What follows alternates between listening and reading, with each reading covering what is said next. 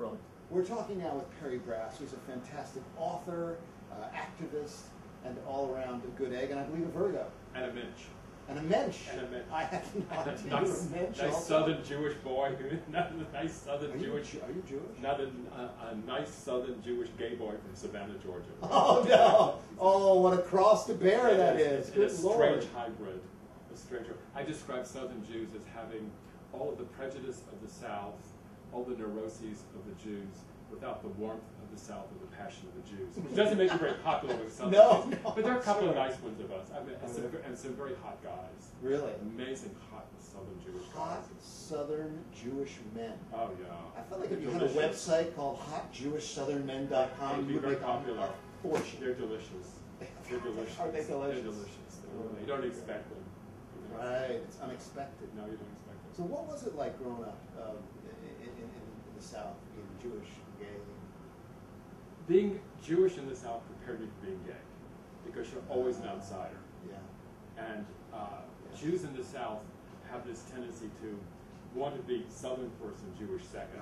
They're like closet Jews. In fact, to find a real Jew, a real Jew in the South is kind of uh, unexpected, and it's kind of like finding a, a flaming queen. It's like you flame Jewish, like you want to be preppy and and you want to be one of those um, uh, happens to be Jewish people. Like I mean, if you're a real Yid in the South, in fact, the worst thing I remember as a kid having we'd have like these contests with each other.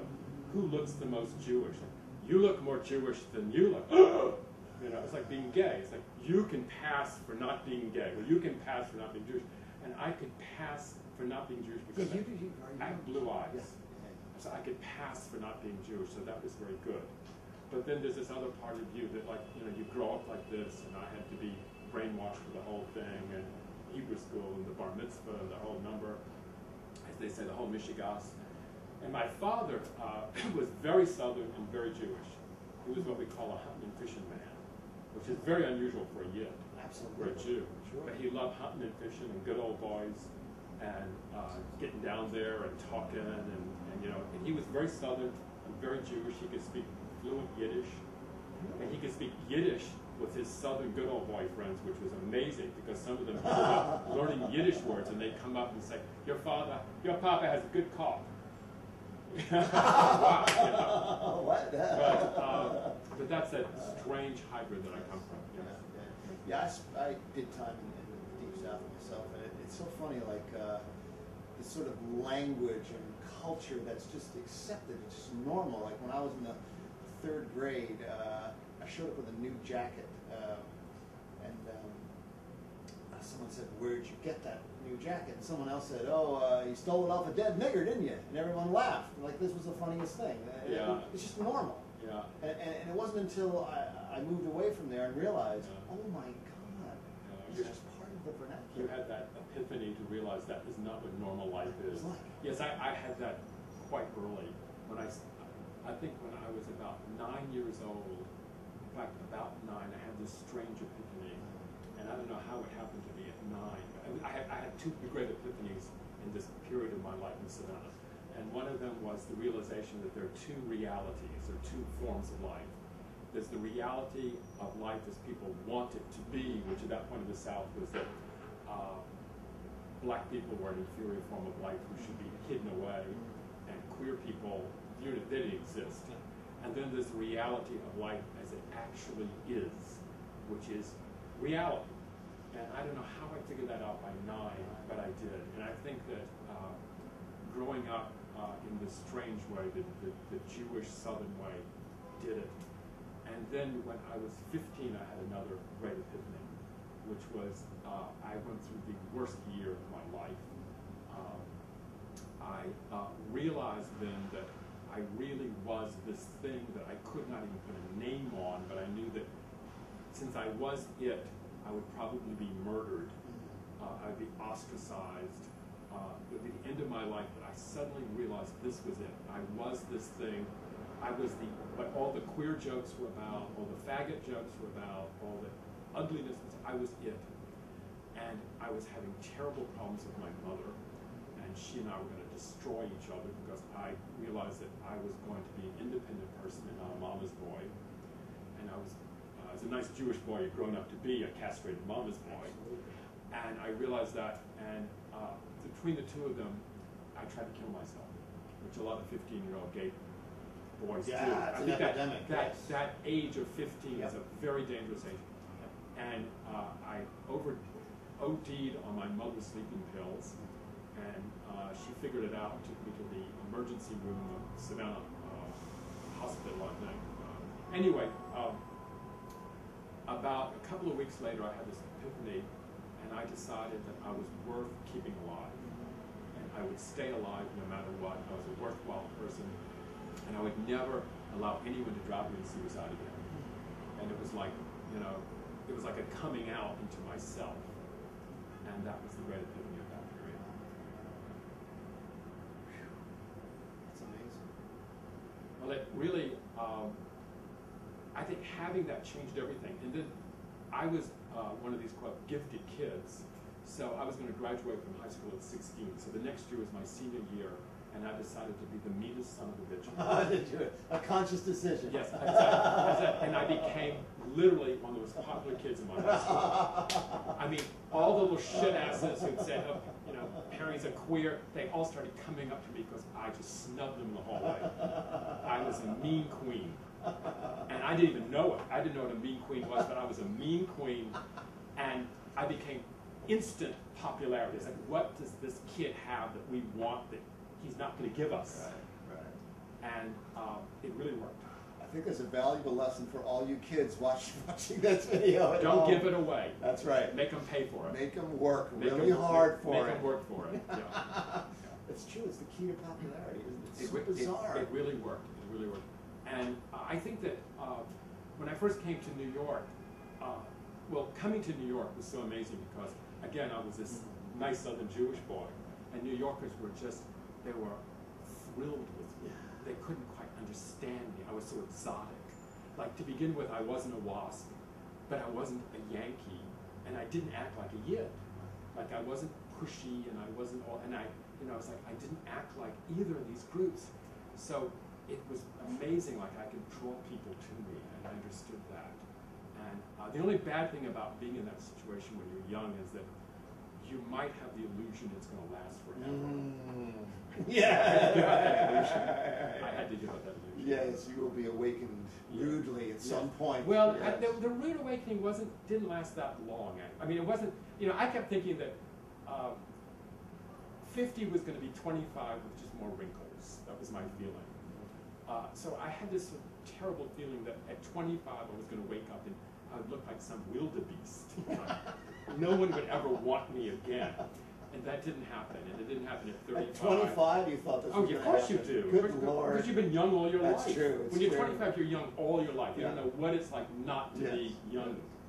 When you're 35, you've had 10 years of not being so young, so you kind of know what's going to happen. Yes. But it didn't happen at 25, and it didn't happen at 35, and it didn't happen at 45, but it really started to happen at 55. Okay. You know, of course. Yeah. I mean, you can't do this forever. You know, Cary Grant couldn't wash it off. so. Um, anyway, that was that was one of those things that you learn. But coming to New York as a nice Southern Jewish boy, and I had, by New York standards, beautiful manners. Yes, I couldn't right, get over yes, that yes, Southern manners. yes, it really yes. works. That was one of the things, you know, I lived in Birmingham, Alabama. and Yeah, I just came from there. Did you really? I just came from there. Yeah, my partner's from Birmingham. Really? He is. And, uh, you know, this, and I, I lived there in the 60s when, you know, George Wallace was, Oh, was the uh, Heavy, horrible. El place. Presidente. Oh. And of course, there were many horrible things about it, but I lived such in such a cloistered little world. Where did you live? Uh, I lived in Hueytown, a suburb just outside of, uh, Birmingham. Oh, Um, okay. and uh, one of the, one of the things that I sort of took for granted was those manners, that gentility. Oh, yeah. I just Oh, I was. I was a complete sucker for Yeah, I still am. softness of the voice. And I still am. I still am. I am. love it. I tell ya. Y'all come back now. I know, you I know. I just, I just love it. I just love it. And and the, the terrible thing is, I'm I'm doing a, my next book is going to be called The Manly Art of Seduction, and I'm talking about what it's like to grow up as a you know as a Southerner. Southerners make seduct. They still keep seduction as an art form down there, but you have to be very careful about it because Southern men are so seductive that they don't know how seductive they are. And I grew up in this world where everyone seduced everybody else, but they didn't mean it. It was just part of the whole game. And a lot of guys have gotten killed that way. Oh yeah, I mean you think that some guy seducing you and he's not. It's just he doesn't know how not to be seductive. Yeah, it's woven into the fabric Of yes, of, it is. of social intercourse. It really is. Yeah, yeah, Yes. yeah, yeah. So how old were you when you came to New York? I was I came to New York a month before I turned 19. Oh, wow. So you were still a babe in arms. Yes. But the, the thing I wrote about in the anthology took place when I was 17. And that was when I spent, uh, I left Savannah, Georgia, uh, after having a year at the University of Georgia. I call it my year of incarceration at the University of Georgia. They're this- bulldogs, aren't they? They're bull- Were you a got it. bulldog for Bulldog. nine Bullshit. months? No, I- it was like I, I described. This was back in the mid '60s, and I described it as an ag frat jock school. Yeah, And yeah. I wasn't an ag student. I wasn't a frat student. I wasn't a jock student. So I didn't belong, and I hated it. And I remember at one point, and I talk about this in, in my piece in the book.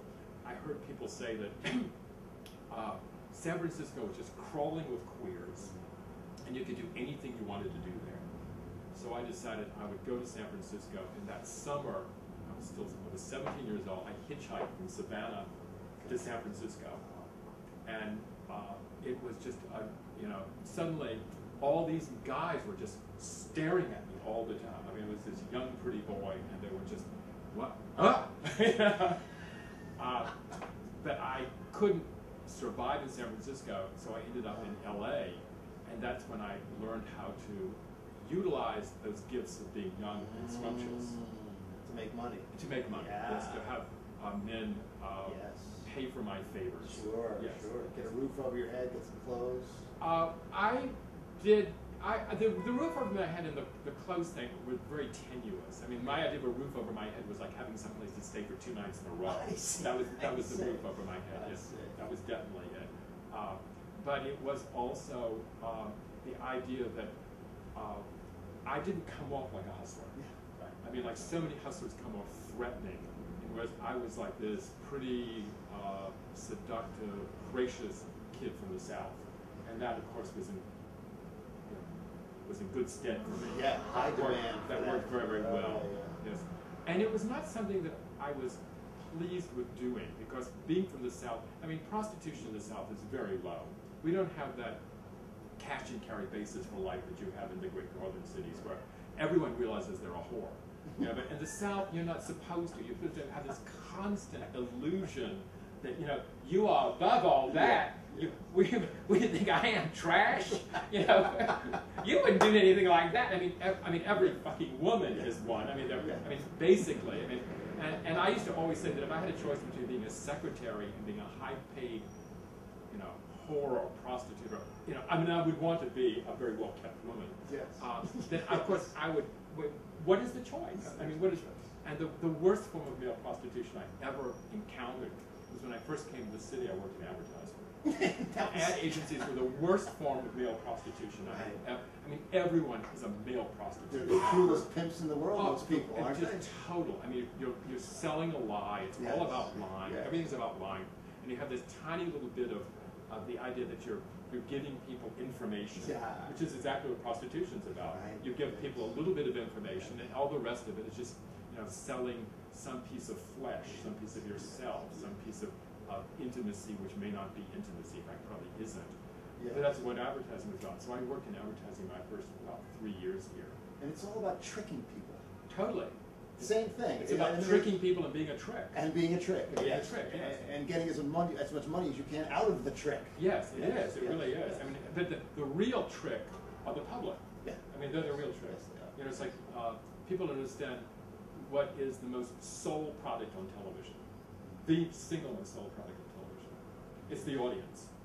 The audience is being sold to the sponsor through the ad agencies. So the most sold thing on TV is the audience, the, the people who are going to. I mean, you'll do anything to get them, you know, to come in and look at you. I mean, at this point, almost nothing's too low. In fact, nothing is too low.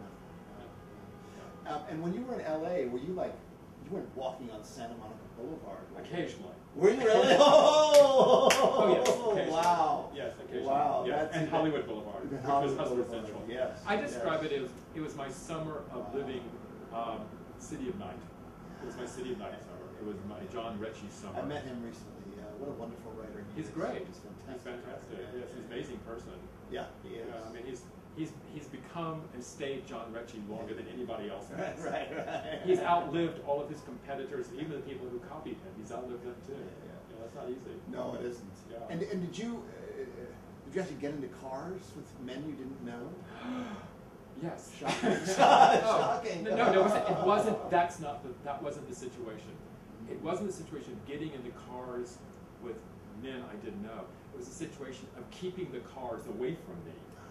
I mean, at that point, LA was so car cruisy Oh, that I would be see. stopping Yeah, yeah, like yeah. to get a bus, and three guys would stop and say, stop in front of me and say, "Can I give you a lift?" So of course I said yes, and then they say something like, "Well, do you want to, you know, come over and do something?" And, I, and I'd say, "Well, I didn't plan on it, but yeah, why not?" And then we would negotiate what would happen after that. Sure, sure. Oh, that's so funny. Um, so when you first came to New York, um, you were working in advertising. Wait a second, we should stop. Is that me? Uh, I think it's in here. Stop that. So when you first came to New York and you're working in the, in the advertising business, were you out as a as a as a gay man? About as much as you could be at Could that be. point. And what, yeah. when was this in the, the early seventies? No, this was in the '60s, still the Oh, '60s. By about 1970, I'd said I had enough of that. Really? Yeah, maybe, yeah, certainly by 71. Occasionally I'd freelance it. But, I mean, advertising was still, it had this strange thing at that point where you had gay pockets. Like, Yeah. there were certain agencies that were like, to- almost like half gay, but no one was totally out. It was like a, you know, the secret brotherhood. And you had the handshake and the, and the, you know, the, the secret handshake and the smile and the, Right. uh, you know, a lot of casting couch. Yeah. You did have casting couch. That did go on. Yeah. Um, Have you seen the show Mad Men? of course, I love it. I do too. but, but I only have one problem about Yeah. that show. When I first saw that show, my problem was they weren't mean enough. They're not cruel The people I met when I worked in advertising were so much meaner than on that show. They were so much crueler than on that show. That the show actually kind of glossed over Yeah, how really mean it. that world was, especially back in that period. Because I worked uh, in advertising a little bit later. I, I came to New York in 1966. So Yeah, a and little that's later than that. set in like '62. A little, little bit later than that, but not a whole lot later. It's I, one of the things that interests me about that show is the, the gay character who doesn't even really know he's gay. Yeah, right. Well, it was very homophobic in certain levels, uh, and it all depended upon which pocket you landed in. Like there were very straight, very homophobic, cutthroat agencies where the idea of having you know, like uh, queers in it was anathema, even though they were there. Yes. That they always were totally in the closet. And then you'd have. Uh, Usually, what was a giveaway was if the agency had fashion um, clients, uh, and there were a lot of lesbians, Mhm. especially in, in fashion agencies because they like the models. And uh, there were a couple like uh, Jane Trahey, who was like started Trahey Wolf. She was a sort of famous closet lesbian. I shouldn't say that. Anyway, uh, and uh, in the uh, some of the other uh, uh, larger agencies, you'd have an art director who, who might be you know like that way. And all of that really changed, I think, by about certainly by the mid '70s. By that time, things had loosened up a lot. Gay liberation was there, and also the whole world of advertising changed. And when did you start writing um, books? Started writing books in the uh, about 1990, but I've been writing gay stuff forever and Oh, publishing you? it. Oh yeah, I've been all over the Oh, publishing I world. So I've been writing the gay stuff since about since 1969. Yeah, I mean like when I, I got I got involved in the gay movement. Uh, in fact, uh, I'm going to be very involved in this 40th anniversary of Stonewall. Uh-huh, yeah, yeah, yeah. Because I was involved in the radical gay world then, Right. which was totally different from the world of advertising, the world of hustling. That Sure. the, the gay liberation people were, at that point were very much against hustling because they thought it was exploitative. And uh, I always felt that uh, the real exploitation was simply not being allowed to be yourself. Mean, that's what real exploitation is. So I never had that attitude. Um, and um, so, when you first were writing uh, this sort of gay themed stuff, was, Yeah. was it uh, political? Was it erotic? political. it was very political. It was very. was, I mean, my work is. Can I show me a book? My my book. Uh, this is my new book, Carnal Sacraments, which is political, erotic, uh, economic. I deal with economics because I think you cannot separate money from politics and power. And uh, I like powerful men. And I like writing about powerful men. I think that the big difference between me as a gay writer and a lot of other gay writers is that uh, too much queerdom has to do with subverting power. Mm. They're scared of power because they never got it. Whereas as a kid growing up in the South, I was attracted to powerful gay men. I'm sorry, powerful. That's an interesting Freudian slip. I was attracted to powerful men, and uh, But you did slip gay in there when you didn't even and also say gay that, men. right. you? And, also, Yeah, yeah. and I'm attracted to powerful gay men. I like powerful gay Do men. you? Yeah, Yes, yeah, I. I don't like uh, the kind of castrating queens who feel like the only power they're going to get is by being a bitch. Yeah. And unfortunately, By they still demeaning live. someone else, yeah. Unfortunately, they're still around. Oh, yeah, of course. Uh, but uh, I like the largeness of this, and I found that exciting. Yes. Very exciting. Yeah, yeah. You know, I, I worked for many years in Hollywood, and um, you know, there's like a, a gay mafia there Oh. now. That's that's so The gay powerful. intern. The what? The gay intern. Yes, yes, And, yes. in Russia, and when the Soviets first took over, they had the Comintern. Yes. These are the people who are going to kill everybody else. We have the gay intern. really yes. do, yes. Oh yeah, they're very powerful. Very Yes, they are.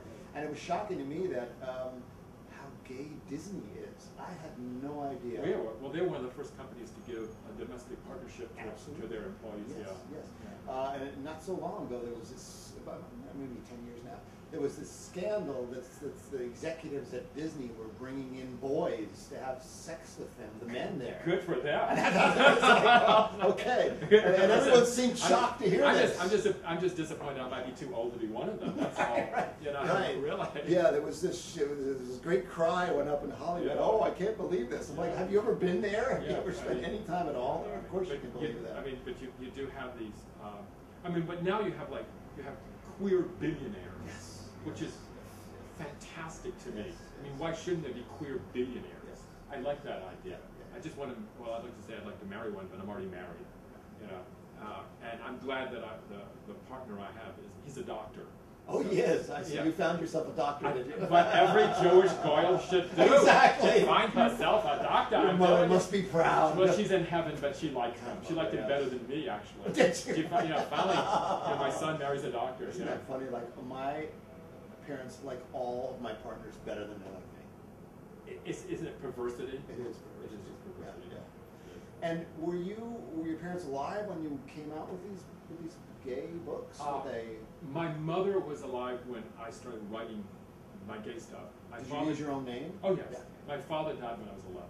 Oh, we did. Yeah, so that was a great tragedy of that, Yes. that period. But my mother was alive, and she was always shocked by it. Was she Yeah. She felt like this is private. It's okay as long as we keep this to ourselves. Yes, yes. This is sensitive and private, you know. So, and I just, I, and I remember I had an amazing exchange with her once uh, because I first started writing for a, uh, a gay paper. There was a gay liberation paper, and I actually sent her a copy of it. I mean, I was proud of this. I mean, here I was doing this. It was political, and she wrote me back uh, something. She said, you you, you should keep this part of your life private. And I wrote her back and said, you live in Savannah, Georgia, where people keep all their hatred and prejudices public, and I'm supposed to keep this private? No way.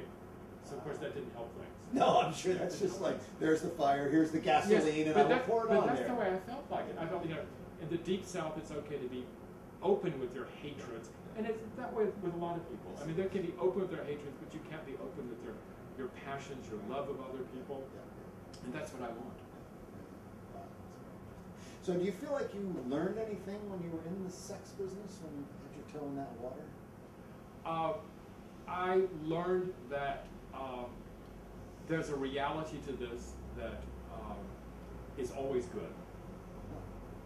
I mean, like I don't, I, I've never understood why people make well, a why there there are laws against this kind of thing, because this is a human reality and a desire, and. Uh, and when I was a young kid, I remember some guy was telling me about keeping boys, and he said, "Well, I think about it like this: I could pick up some chicken on the street, take him out for lunch, uh, for dinner, wine and dining, take him home and fuck him, and the next day be out, you know, in the market for another one. Or I could just keep some guy at home and you know take care of him and keep him well and enjoy him and love him.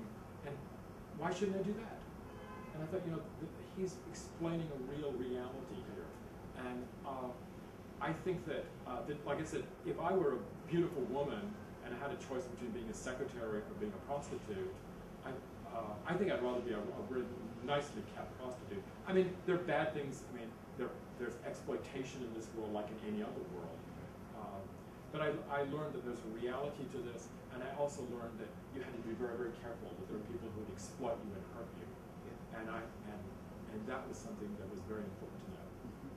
And did you feel like you grew up knowing this about the world? That there was, that this was, that there were people who were going to exploit you if they could? Oh yes, yeah. I certainly learned it in that in that instance. Yeah. Yes, I did. But I didn't find that exploitation any worse than most of the exploitation that goes on in New York every day of the week in any kind of job situation where people are, you know, they're just done away with. You know, it's like, okay, so you have a family to support. You, have, you know, you know, what's your problem? You know, that, that that to me is worse. Yeah. I sound like a total socialist, but I am. I, I don't think that's necessarily socialism. It Yeah. sounds more like humanism. to yeah, me. it is. I mean, I'm also. Uh, People say to me all the time, "Oh God, my God, how could you have been a prostitute?" Well, right before I was a prostitute, I fried chicken for a living, Yeah. and it was a billion times worse. It was a Oh. horrible job. Not to mention what it did to the poor chicken. And I'm talking about the chickens. Uh, you know, I'd work for a week and my paycheck I would be Yeah. not enough, not even close to enough to live on. Wow. I could make more in an hour, Yeah, and you felt appreciated. and I felt appreciated. I was just saying before, I felt, you know, sort of powerful and Sure, large, and, and, and, and like someone, yeah, appreciated me enough to give me a hundred dollars for an hour, and that's Yeah. a hooker's hour, which everyone knows is only forty minutes. So Really, you just know, like a shrink's. Exactly, just like a shrinks, exactly. Oh God! And so this is your new book. This is my new book. Put it up again. It's called Carnal Sacraments, a historical novel of the future. And it takes place in the year 2075 when your lifespan will be determined by your job and position, which is hugely different from now. Yeah, it. Hugely, God, really, really different. Where'd you yeah. come up with that one? well, I just figured it'd just be much, much worse in the year 2075. But this um, book has all the elements that I like in the book. It's got sex, politics, uh, economics, passion, and it's very funny. The places are very funny. it's got a really hot. It's guy. got a The cover. scrumptious cover. It's Super got a- hot the- guy. The, the cover model is more famous than I am. Is he really? Oh, yes, dear. yes. Oh dear. It has some pubes showing, which Yeah. I think is good. Yeah, it is. yeah, Yeah, but yeah. but he's a gorgeous thing, and uh, it's helped sell it's helped sell the book. When did this come out? This came out in uh, 2007. Okay. Uh, but I'm still I'm still selling it. That's great. 2007. And what is? Are you working on something? Yes, um, my next book is going to be called The Manly Art of Seduction. Oh right, yeah, yeah, yeah, yeah, yeah. And it, is this like a? Is it a how-to Totally. book? It it's, is. A, it's a how-to book and a workbook. It even has at the end of Oh, every chapter, really? it even has things for you to do and think about That's and great. To become exercises. a better seducer. and how to do that. But it's about seduction as part of all of human life. It's not seduction as like something the devil does, Yeah, but it's seduction as something that actually makes life work and brings people together, which is now a very difficult thing. It is. I think that people have a very hard time meeting each other now. terrible time. I just moved to New York um, about a year ago, Yeah. and I had such a terrible time. Oh, they're so defended. Meeting Everyone's people so and defended. developing a community. You know, I, I meet someone and then we exchange uh, information, and then it's like they're, they're, they're gone. They think you they're they're scared that you want to I'm exchange body fluids, or They- something. I Yeah, don't they, they, understand they, exchange it like you, you want to exchange blood and cum or something. exactly. They, they really get very upset about that. And, and I keep thinking, well, is it, is it me? I No, it's just the world we're in. And I feel like in New York City, it's more pronounced uh, than. very, but it's not hundred percent better anyplace Yeah. else. I mean, in fact, I I find L.A. to me Well, much, just much say more LA is, much yeah. more lonely. People are trapped in their cars all day. And San Francisco, which used to be much more open, is now like you know yuppiness personified. Uh, and Boston is worse. God, I mean, Boston, I describe Boston. It makes New York look like a housing project. Yeah. I mean, it's like you have to, you know, check your wallet at the door. yeah, absolutely. So this is, I mean, New York can be friendly. It really can. Maybe it's the fact that because I'm actually a Southerner who lives here, uh, I talk to everybody. I really do. John, I do too, and people are, are slightly shocked when Yeah. you speak to them. No, I talk to everybody. I just think by this point they think I'm a loony old man, and uh, that's good. You know, there's this whole idea, this you know, this uh, uh, youth and the young are, are to be worshipped and revered, and there is something to that. I Uh, as long as I was young. Yeah. and I was talking to a, uh, a 19 year old Yeah. recently, and he's like, dude, you're so old, man. Yeah. I'm like, well, yeah. He says, doesn't it suck? Like, well, I mean, there are certain things Well, that he doesn't know anything else except that. But I, I said, look, well, my situation is I live in a beautiful house and I have a, I, I'm, I write for a living and I'm like, well, wh- where do you live? Oh, dude, I'm crashing at somebody's house, but it's horrible. There's Yeah. roaches and there's Right. uh, fleas and Yeah. Well, uh, do you have a job? No, man, I got no money. Can you lend me ten bucks? but his whole life is a hard on. On and on. Yeah, but that's that's on the other side of the coin. I mean, his whole life is a hard on. I mean, when you're 19 years old, your whole life is a hard It on. is, essentially, You know, I mean, yeah. that was the joy of being 19 years old. I, I think that whoever said life begins at 40 was Mm. totally right. Really? Really understood everything. I mean, I've been happier in my 40s and 50s and now than I've ever been in my whole life. I was not that happy as a young person. But, you know, you wake up with a heart and go to sleep with one. And so everything is this pursuit of sexual energy, not necessarily sexual uh, satisfaction, just the energy of it. And uh, when, when you're in it, it's like it's like uh, an addiction. It's intoxicating. Yeah, it's it's like being on a drug. yeah, it is. It's adrenaline. Pure adrenaline. But it's, it's hard to get anything done. It is. Except other people. Yeah. People done. I think on that we will close. Okay. Thank you so much. Thank you. I Perry enjoyed the Brass. hell out of Thank you. Thank you. Hard to get anything.